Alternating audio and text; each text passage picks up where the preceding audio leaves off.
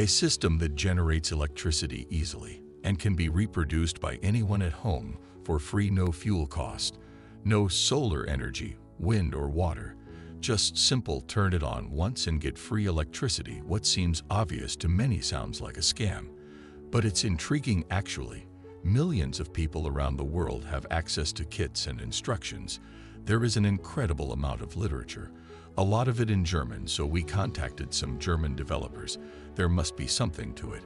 So we started a huge research. We reached out to a university in the Netherlands. Where such a system was allegedly demonstrated, we tracked down kit suppliers and authors and physically analyzed some of their experiments. The magnetic motor is based, like the name says, on the attraction and repulsion forces of magnets. Magnets provide proper shielding or shifting of forces, and the correct arrangement should enable a self-sustained circular motion without the need for external energy. Depending on the design, there are different descriptions of how exactly that system should work. The most prominent approach is to arrange magnets in a V-shape and use a roller that moves in a stator.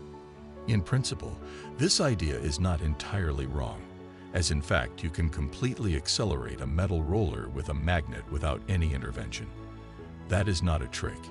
Anyone can do it at home with magnets. So now, build a really long V and move the roller as long as possible. But every V has an end at some point. This is the problem that this idea tries to solve by wrapping the V around a roller or several rollers. After going through one V, the roller will be activated by the next one, and so on until it comes back to the first one. In theory, this should create a perpetual motion. A perpetual motion that is preserved forever is the problem. Only the same energy that the system releases when passing through one V is needed again for the next V. Unfortunately, this is a zero-sum game.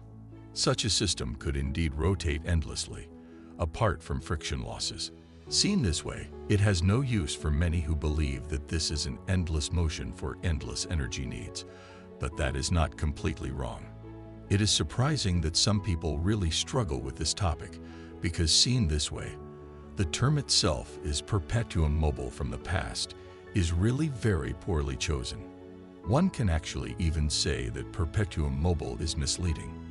Perpetuum mobile means, translated from Latin, as much as eternal motion. But to believe that an eternal motion releases endless energy is really not clear. When we look at Newton's first law alone, the law of inertia, a round body remains at rest when there are no external forces acting on it.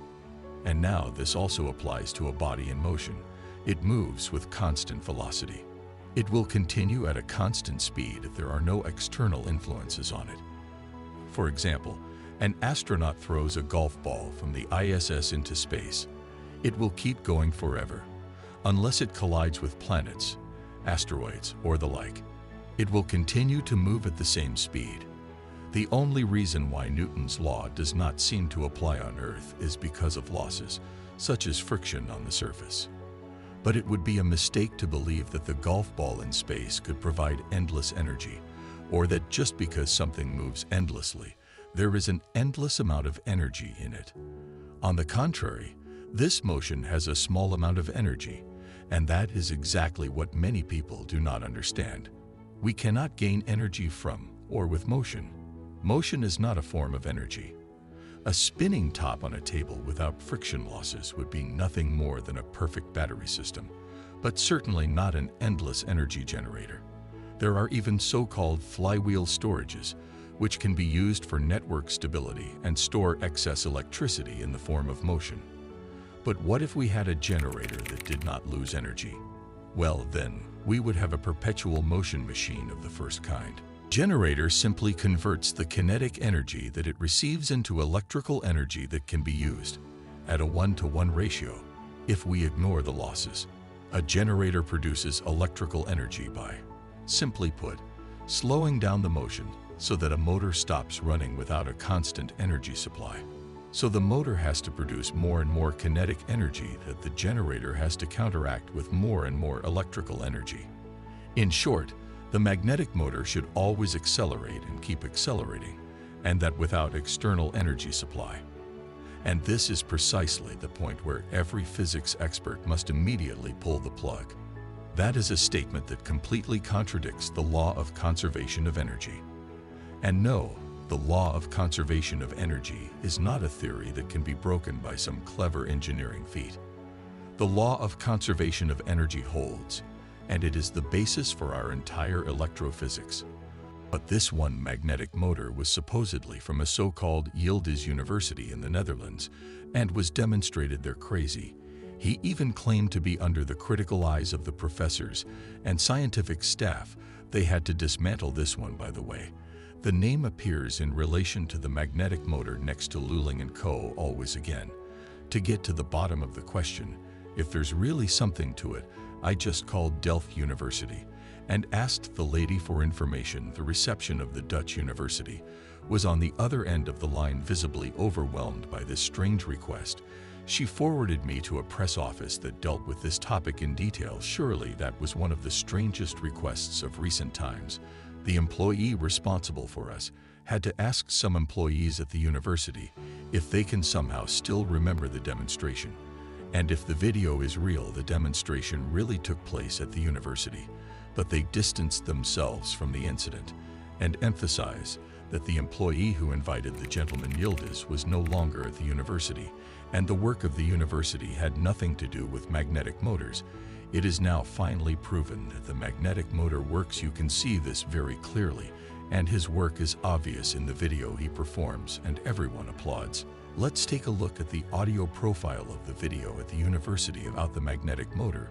We see a behavior of the magnetic motor that is unusual for a real one. The magnetic motor should be spinning faster and faster as it turns on the sound of the motor should increase with the speed. This is very noticeable, so we should since we have recognized that the magnetic motor is constantly accelerating. Notice a constant increase in pitch, at least when there is no generator connected to the motor that would somehow counteract the acceleration. But we don't hear that here at this point. We have a short increase in frequency at the beginning. Then the sound stays more or less the same and no, this propeller is absolutely not enough to in any way counteract the acceleration. The thing would have to run without a load at the described wattage through the ceiling. So we're sure that this is just a battery-operated electric motor, the rest around it, we would dismiss as a show that would also explain why he shows the motor only briefly and never for two hours at a time. The battery would discharge over time. The load would also reduce the speed, and at the latest after a few hours, the motor would slow down and then even the last one would realize that something is wrong if we were right. How do you then explain that the machine was opened in front of the critical eyes of the audience and no battery was found well? This question was asked to me more often because of our last video about the magnetic motor. The point is that at the University of Delft, the system was not completely taken apart, only one component was removed. Admittedly, Quite a large component was left out because they were supposed to be in a patent dispute. Despite having many patents registered for this, none of them ever followed up on it, right after a successful demonstration. The man who opened the machine has been watching this show for more than 30 years. He supposedly developed it more than 34 such engines which all work somehow, but would not be fully opened only one system. And in series, it also never worked more surprising than me personally. I would buy such a system immediately if it worked. And not just me. You out there, everyone would especially want to buy such a system that would be interesting for the military, for electricity generation, for the transportation, for every area, but a public company was never founded, not even a website, which would finally show the release is obviously in the past. A web store or something similar, there still isn't one. You can't buy a Yildiz magnetic motor anywhere. It is always claimed that the invention is being covered up so that the big corporations can make money. The magnetic motor inventors have to stay hidden because otherwise they would be persecuted. They would go over dead bodies. Well, isn't it strange that the man on the brightest day openly shows his system at trade fairs and even at universities, and he has been doing that for over 30 years. And not only that, if there is an agenda against him and the magnetic motor, who can explain to me how it is possible that the authors of magnetic motor manuals can publish their books and co through publishers and send them via Amazon and even through bookstores like Vitalia, not only as e-books, but also as printed versions finished engines are not available from reputable websites. To buy to emphasize this explicitly again, for us, the whole topic about the magnetic motor shows how left behind large parts of the population are by science. An enormous number of people believe that you can build machines that break physics. YouTube videos like this here, in which a very technically gifted person gradually builds new supposed miracle machines, go completely viral, and the most common comments are, Is this really possible? Where can I buy this? How do I recreate it? While some have fun with it and discover a hidden cable or battery system, others really believe that something like that can work, that this is impossible, and someone knows that group particularly well.